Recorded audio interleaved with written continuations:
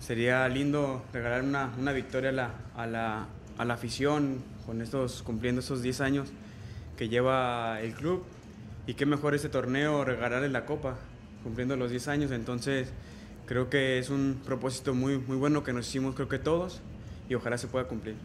Yo me debo a, al Club Tijuana, o sea, lo llevo en el corazón y, y el que es del permanecer tanto tiempo en una institución, creo que es el, el trabajo, el trabajar día a día y el no bajar los brazos y el entregarte en cada entrenamiento. Creo que eso va a ser parte fundamental para que puedas permanecer en, en un club.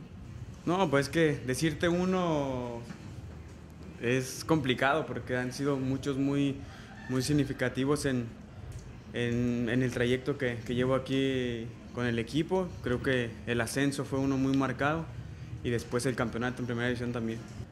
Pues Tijuana, lo he dicho en muchas entrevistas, es todo ya para mí, Tijuana está marcado conmigo para, para siempre. Creo que es el club que le debo todo, todo lo que soy hoy por hoy en mi carrera es, es Club Tijuana y estoy muy agradecido con la institución, con la directiva, con la afición que siempre me ha, me ha apoyado por, por estar todos esos ocho años y medio que llevo aquí y esperemos cumplir un poco más.